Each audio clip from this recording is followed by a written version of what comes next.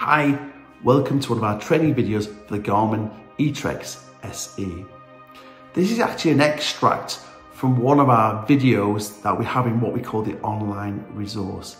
The online resource is the GPS training online training course that you can access 24 hours a day, seven days a week. And it's packed full of videos. There's well over 20, 30 videos about how you use the Garmin eTrex SE. And this is the ones that you get free. You can sign up for a free option, but alternatively, you can sign up for a premium option.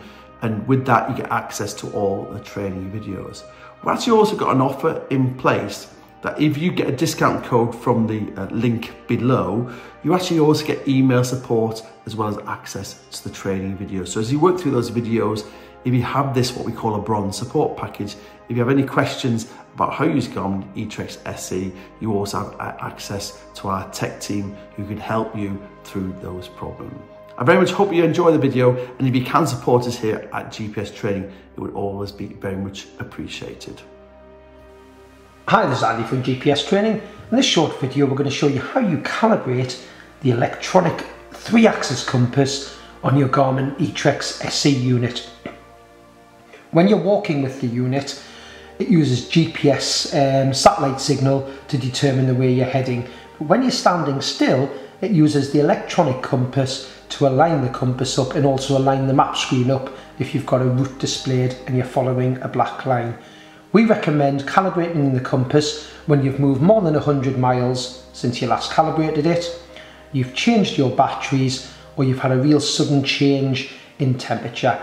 And really, if you feel that when you're walking, it's not lining up with the route that you've marked, maybe you don't think the compass is lining up quite right, it's not a bad thing to recalibrate the electronic compass. We have found if you put the device near something magnetic like a magnetic wristband, I have seen customers wearing something like an Apple Watch and they've rested a device on their Apple Watch and it's put the calibration of the compass out and we've had to recalibrate it. Just something to bear in mind. When you calibrate the compass, we always recommend you go outside, get a satellite signal with your unit and calibrate it away from things that might interfere like electrical devices under a pylon, something like that. I'm just going to do a demonstration inside to show you the principle, but normally when we calibrate a compass, we do it when we're outside. So can either do it from if we went on the tracking screen and pressed OK. So if I went up to tracking, selected OK, and then just moved down to the compass. When I'm on the compass bezel, the OK button will give me the option to calibrate compass. But we do also have, if I just keep hitting the back button, if we hold the back button in, it takes us to this shortcut glances screen. We also see the compass displayed there. And if I press OK and I'm on the compass screen again, pressing OK once more, I get the option calibrate compass. So if I go down to calibrate compass just using the down button, see the white arrow to the side, press OK, and it's telling me to slowly turn the unit in the direction shown with the word start.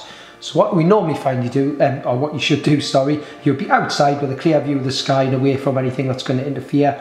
Press OK. I normally wait a few seconds before I start and then it shows me it wants me to turn it slowly. So I'd normally just hold this flat in my hand, turn it slowly, try not to lean it to the side as you're turning it. And it tells you that the step is complete and to press um, continue to start the next step. So that is basically pressing OK. The next step, you can see the way it wants you to turn it. So just wait a couple of seconds and then I'm going to turn it as such. I'd normally just be doing this outside of my hand and there you can see it says step complete, continue with the next step. Now I know the next step wants you to turn it either this way or that way, it doesn't seem to matter. When you're doing it, if you accidentally tip it to the side as you're doing it, you will get a fail and have to start again. So I find if I've turned it one way initially and it's failed, the next time I do it, I do it the opposite way. This is the one that I normally find I sometimes fail on. So I'm just going to press OK and I'm going to turn the unit slowly. As you can see, it's not a touchscreen so we don't have to worry about touching the screen.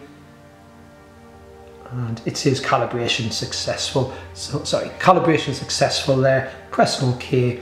That is the electronic compass now calibrated.